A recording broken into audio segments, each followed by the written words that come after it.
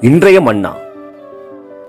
நம்பிக்கையிலே சந்தோஷமாயிருங்கள் உபத்திரவத்திலே பொறுமையாயிருங்கள் ஜெபத்திலே உறுதியாய் தரித்திருங்கள். ரோமர் பனிரெண்டு பனிரெண்டு.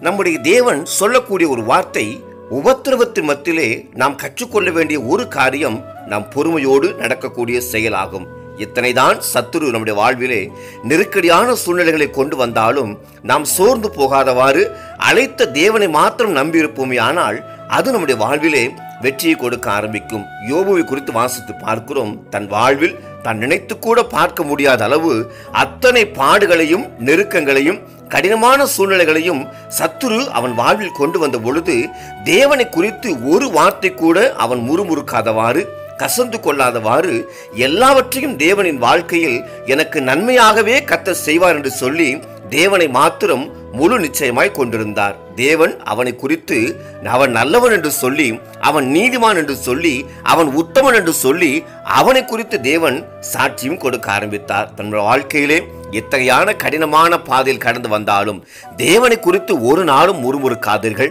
அவரை குறித்து கசந்து கொள்ளாதீர்கள்.